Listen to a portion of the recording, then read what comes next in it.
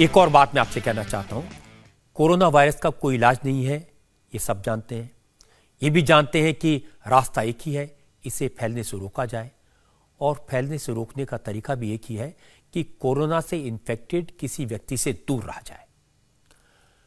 आजकल बहुत सारे लोग पूछते हैं, ये कैसे पता चले कि कौन इन्फेक्टेड है, कौन पॉजिटिव है, किससे खतरा है, किससे दूर रहना है।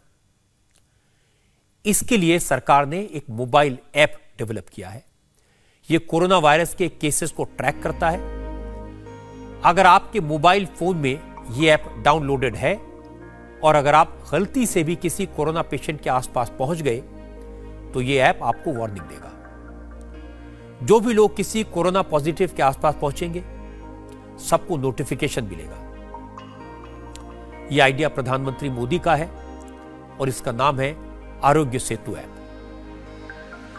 इस ऐप के बारे में दो तीन बातें आपको बताना चाहता हूँ। ये ऐसा मोबाइल ऐप है जो कोरोना को फैलने से रोक सकता है। जब आप इसे डाउनलोड करेंगे तो ब्लूटूथ और जीपीएस की मदद से यह हर उस आदमी को ट्रैक करेगा जो आपके संपर्क में आएगा। अगर कोई व्यक्ति कोरोना पॉजिटिव पाया गया और उसने अपना केस रिपोर्ट किया हुआ है तो आपको सिग्नल मिलेगा। सरकार कोरोना पॉजिटिव व्यक्ति का पिछले चौदह दिन का रियल टाइम सोशल ग्राफ निकाल सकती है। और इसकी वजह से उसके आसपास जो लोग संपर्क में आए होंगे सबके बारे में लोगों को इंफॉर्मेशन दे देगी। जो भी लोग उसके संपर्क में आए होंगे, उनके बारे में पता चल जाएगा। और ये सारे लोग मेडिकल हेल्प ले सकते हैं, अपना टेस्ट करा सकते हैं, खुद को क्वारंटीन कर सकते हैं। बिना मुसीबत पैदा किए बिना डॉक्टर्स पर हॉस्पिटल पर प्रेशर डाले, अपने आप को बचा सकते हैं। मुझे तो आइडिया काफ़ी अच्छा लगा, लेकिन इसका फ़ायदा तभी होगा जब देश के ज़्यादा से ज़्यादा लोग इस ऐप को डाउनलोड करेंगे। अब से थोड़ी देर पहले तक की फिगर्स मैंने देखी है, ढाई करोड़ से ज़्यादा लोग इसको डाउनलोड कर चुके हैं। एक दो बातें और आपको बता दूँ, इस ऐप का डेटा सेफ़ है, सरकार सिर्फ़ उन लोगों का सोशल ग्राफ निकालेगी जो कोरोना पॉजिटिव पाए जाएँगे।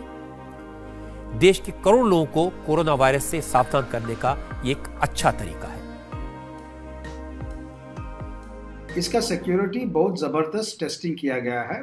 पूरी तरह से टेस्टिंग सिक्योर है। आपकी डाटा जो है, आपकी इंफॉर्मेशन जो है और लोगों की इंफॉर्मेशन जो है, सिर्फ़ कोविड नाइन्टीन डिज़ीज़ पे आ, के बारे में यूज़ किया जाएगा। सरकार से आपकी टेलीफोन नंबर और नाम किसी को नहीं दिया जाएगा। सिर्फ़ आपको बताने के लिए यूज़ किया जाएगा कि आप की हेल्थ की स्थिति क्या है अगर कोई पॉजिटिव पर्सन आपके पास आते हैं। आपकी प्राइवेसी भी पूरी तरह से प्रोटेक्ट किया जाएगा। ऐसी है कि ये जो डाटा आरोग्य सेतु से आती है पास वाली लोगों की वो बहुत नज़दीक के लोगों से नहीं आती एक इलाका से आती है। तो इसीलिए आपके घर में जो हो रही है आसपास में जो हो रही है उस लेवल के डिटेल में इंफॉर्मेशन नहीं जाती है। वो आ, इलाके के लेवल पे जाती है।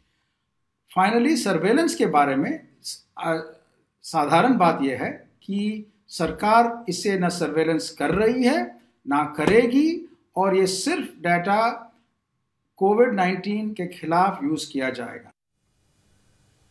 विजय राघवन को यह बात इसलिए कहनी पड़ी कि कुछ लोगों ने यह फैलाना शुरू कर दिया कि सरकार इस ऐप का इस्तेमाल सर्वेलेंस के लिए, आपकी प्रिवेसी में दखल देने के लिए करेगी। उन्होंने साफ़ किया कि सरकार का ऐसा कोई इरादा नहीं है। ये लड़ाई सिर्फ़ कोरोना से है। उसके लिए इसका इस्तेमाल किया जाएगा। असल में जिस व्यक्ति को कोरोना इन्फेक्शन होता है, कई बार उसे भी नहीं पता होता कि वो कोरोना का कैरियर बन गया है। लेकिन अगर आपने ऐप डाउनलोड किया हुआ है तो ये ऐप आपकी मदद करेगा। आपको बता देगा किस व्यक्ति से दूर रहना है।